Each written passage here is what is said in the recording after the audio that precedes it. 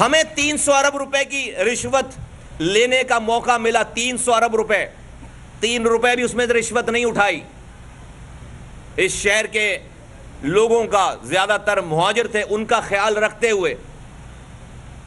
تو آپ کیسے کہہ سکتے ہیں، مہاجروں، میں تمہارے راستے میں مزید کانٹے نہیں بچھانا چاہتا جو یہ بچھانا چاہتے ہیں۔ میں تمہارے راستے سے کانٹے چننا چاہتا ہوں۔ میں تمہارے حقوق کے لیے تمہارے مزید دشمن نہیں بنانا چاہتا۔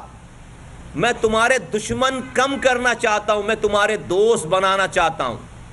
اور مہاجروں یہ یاد رکھو، اس شہر میں لاکھوں پختون رہ رہے ہیں، لاکھوں سندھی رہ رہے ہیں، لاکھوں بلوچ رہ رہے ہیں، لاکھوں پنجابیز رہ رہے ہیں، لاکھوں سرائکیز رہ رہے ہیں، لاکھوں میاں والی کے لوگ ہیں، لاکھوں ہزارہ کے لوگ ہیں، لاکھوں کشمیری ہیں۔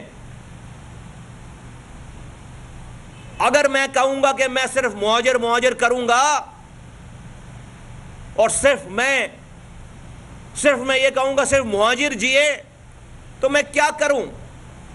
میں یہ کروں کہ اپنے پاس سے سندھیوں کو، بلوچوں کو، پختونوں کو، پنجابیوں کو، سرائکیوں کو، میاں والی، ہزارے والوں کو کہہ دوں کہ تم چلے جاؤ میرے پاس سے۔ تمہاری جگہ میرے پاس نہیں ہے، چلے جائیں گے۔ جاتے جاتے مہاجروں کے لیے دل میں نفرت لے کر جائیں گے۔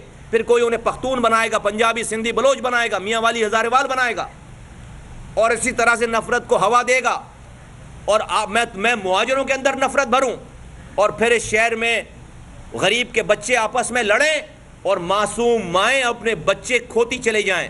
میں نے ماؤں کی بددعائیں نہیں لینی ہیں۔ میں نے ماؤں کی بددعائیں نہیں لینی ہیں۔ اس شہر میں بچوں کو بچانا ہے، سب کو جوڑنا ہے آپس میں۔ اور ایسا کیسے ہو سکتا ہے کہ میں بولوں پانی چاہیے کراچی کو؟ تو میں یہ بولوں کہ پانی صرف مہاجروں کے گھروں میں جائے۔ کیا پانی گھر میں جانے سے پہلے نوک کرے گا دروازہ؟ اگر مہاجر کا گھر نہیں ہوگا تو پانی آگے آگے چلا جائے گا۔ کسی سندھی پختون بلوچ کے گھر میں پانی نہیں جائے گا۔ نہیں بھائی، بلوچ کے بچے کو بھی پیاس لگتی ہے۔ سندھی پختون کے بچے کو بھی پیاس لگتی ہے۔ اس کو بھی پانی دینا ہے۔